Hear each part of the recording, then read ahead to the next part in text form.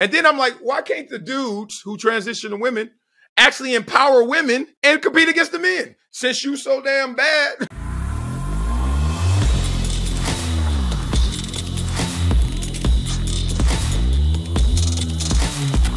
This video is brought to you by Manscaped.com. Manscaped.com. Everybody knows Manscaped take care of the man from the waist down, but now they got products from the neck up, which is where most of y'all should be operating from unless you married. All right, I want to tell you about the the um, the Hedger Pro kit the Beard Hedger Pro kit, which is an amazing kit, probably one of the most amazing kits that I've had for the for my actual beard. Let me just explain to you what comes in the kit real quick. I won't take you too much of your time. You have the uh, the balm, the beard balm, which is something that I do after I take a shower, after I use the conditioner and the shampoo. I put the balm on right before my beard dries out, and then before my videos, I'll just put a little bit of beard oil on there just to make it fluffy make it look nice and sexy. And what's cool that comes with the kit is you have your your comb, which is a wooden thick comb, which is pretty good good. Then you have the brush here. And also if you want to trim it up a little bit while you're on the camera, you could chop and slice and dice. Just make sure you know what you're doing so you don't hit a vein trying to be cute. But the prominent part of this entire thing, which I, I adore, is the hedger itself. Now, it comes with 20 different settings.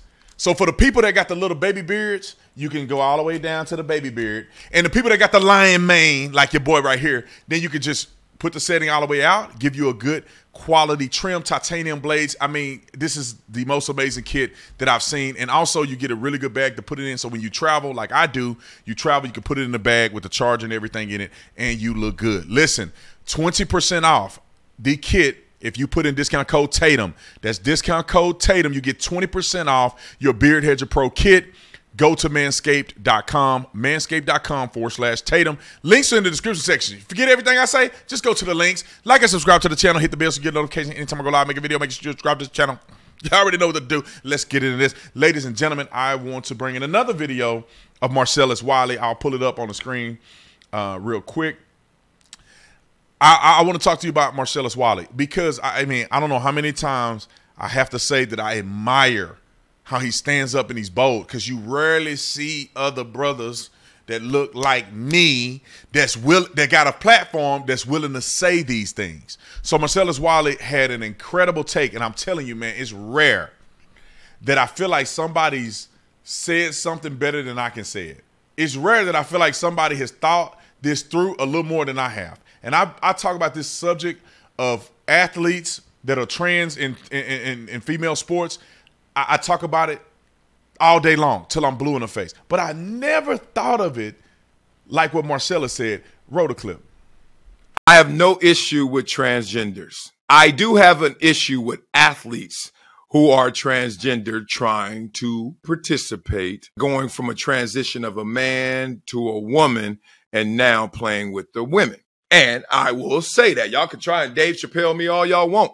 I am very clear on this. You could be a transgender, you could be the homie. But I'll be damned if a male at birth turns into a female and tries to compete against my daughters. She ain't out there. We, we, we out. Don't make this a human rights issue. This is a biological issue. Simple as that.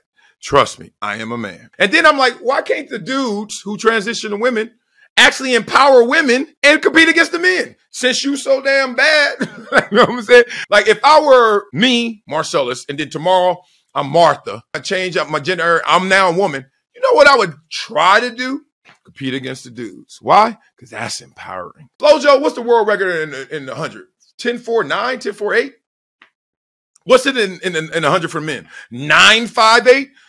A damn second almost? Man, y'all better stop playing. And why use objective numbers? Because it's pretty easy to digest. I hate saying fair, but it's just not even right. Forget fair. It's not right. I have no issue. I love I love that he said that. It is hilarious to me. I never thought that how about you cuz cuz they do this all the time. We saw it in the Super Bowl. Remember? They had the little girl running through the hallway, she dodging and and, and she, listen, Ramsey would have tackled her and she would have been unconscious a long time ago. But somehow he's running through and chasing her down and he can't catch her. Um, but anyway, they had a girl running through and embarrassing all the men because she's so stunning and brave. It, it, to be honest, it's like, well, show if you want to have equal pay and all that stuff, show me where you're equally talented.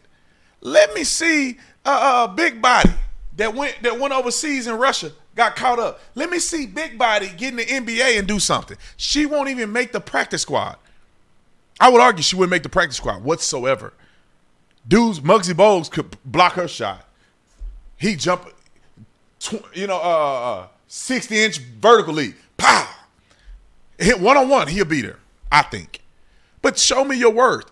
But if these men, knowing, this is the part that kills me, you know that your talent level is far reaching, far beyond what women can do before you transition. Because this is the point.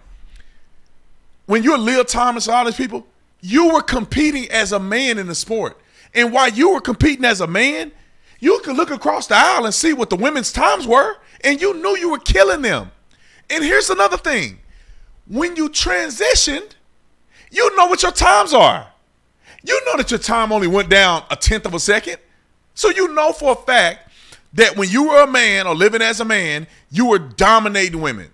You live as a woman now and you're still dominating women. You know that you have an unfair advantage.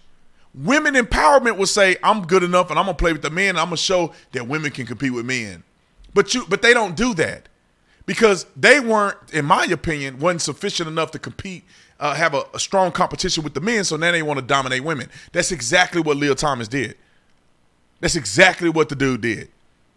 And and and and I love that Marcellus brought this up because I wasn't thinking about that. Have them compete against the men if they so stunning and so brave. But we all know, people with common sense know, they're not going to do that because there is no advantage of doing that. That's why you never hear of a woman transitioning to being a man competing in male sports. It, if there is no advantage to be had, no advantage to be had, why aren't there more women transitioning into men playing in male sports? If there's no advantage and, and, and you whatever is equal, it's I you know, it's nothing wrong with it. You take testosterone or estrogen and it's balanced out and you're to, you're totally biologically the same or competitive. You know it's bullcrap. Ain't no woman on planet Earth transition to being a man and can compete in any male sports. For one reason, biologically, physically, they're smaller. They're little. They're not as strong because they've been living like a woman their entire life. They ain't strong. They don't have the muscle density. They don't have the they don't have the lung capacity. They don't have any of those things. So it would be a nightmare for them to try to continue to play sports now that they've transitioned to being a man. But we all know that if I got today, I haven't lifted weights in a very long time.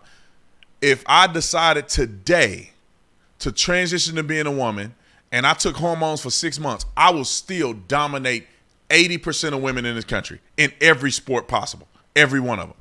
About 80% in every sport. There's probably some girls that can beat me in some long distance running because I'm, you know, I'm I'm, I'm, a, I'm about 150 pounds heavier than they are.